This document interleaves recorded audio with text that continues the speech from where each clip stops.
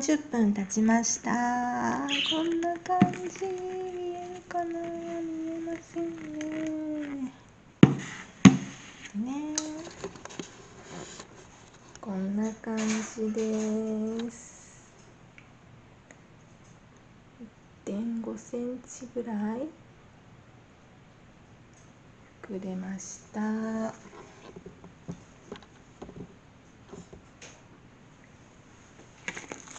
そしたらラップを外して膨らんだのを台に出します。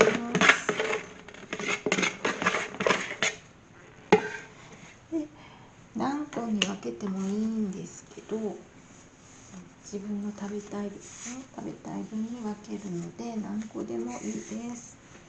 で気にしなければ1個の大きさが別にバラバラでもういいっていうんであればそのまま、うんと、等分にしていけばいいカットしていけばいいけれどもどうしようかな。今日はもうお家用なので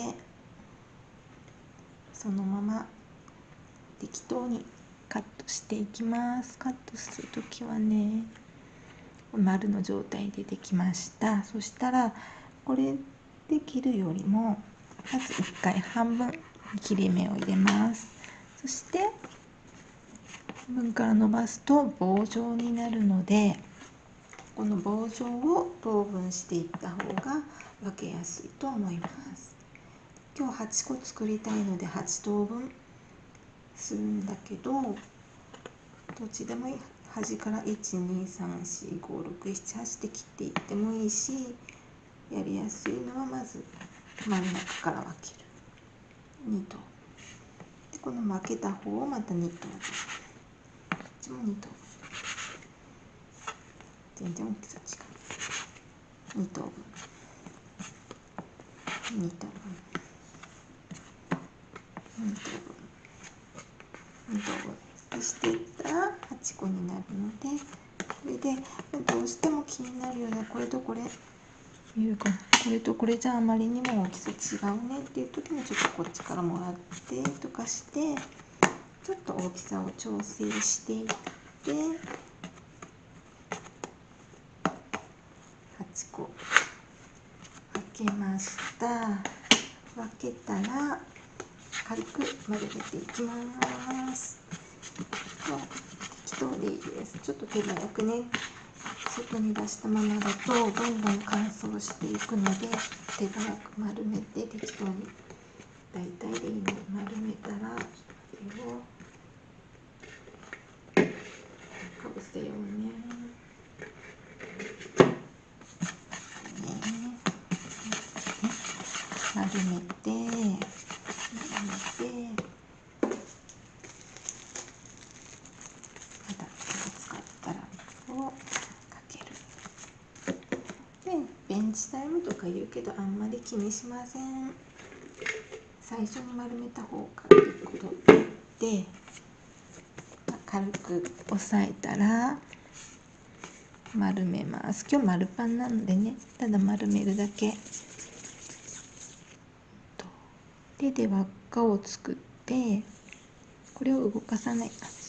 これでくるくるしていったら丸くなります。で下ちょっと空いてるのでここをきっちり止めて出来上がりでなります。ちょっと待ってね。で円盤を準備していなかっ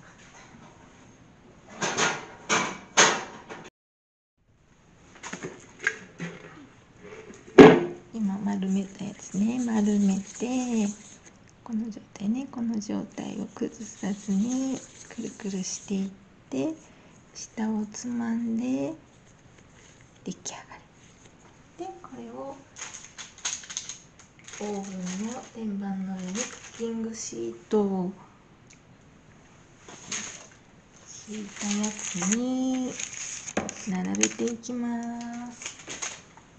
これもこのままだとカラカラになっていくのでラップをして乾燥防止です。後でちゃんと見てますねただこれを全部繰り返します先に丸めた方からずっと取ってってでここのこの子たちはずっと休んでるのでこれがもうベンチタイムと思っていいと思うのであんまりベンチタイムは気にしません。くるくる丸めて。閉じたらのせる。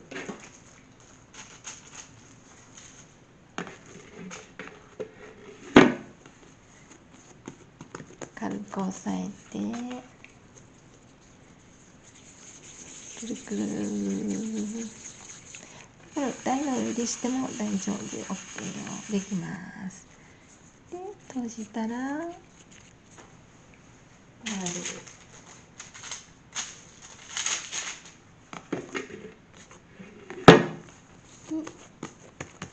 軽く押さえてもしねなんか空気が入ってるところがプツッとかなったらそこを潰してあげればガス抜きになります。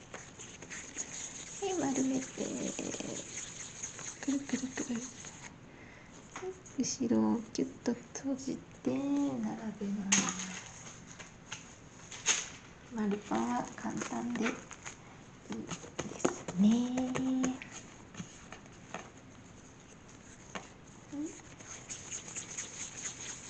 くしたら閉じる。並べる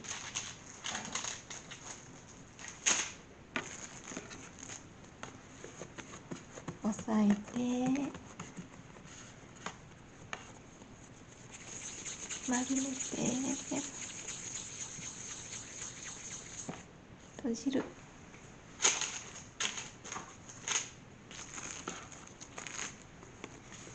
押さえて丸めて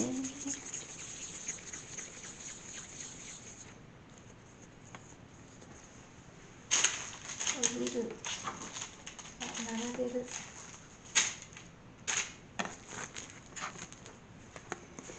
はい軽く押さえて丸めて。閉じる。並べる。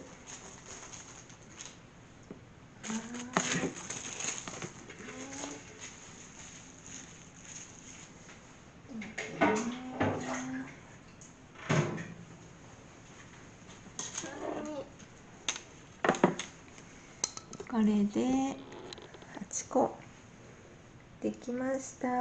丸めました。でこれをまた発酵です。二次発酵。これだけなので発酵機は出さずにオーブンの発酵機能で。発酵。何分にしよっか。うん15分にしようかな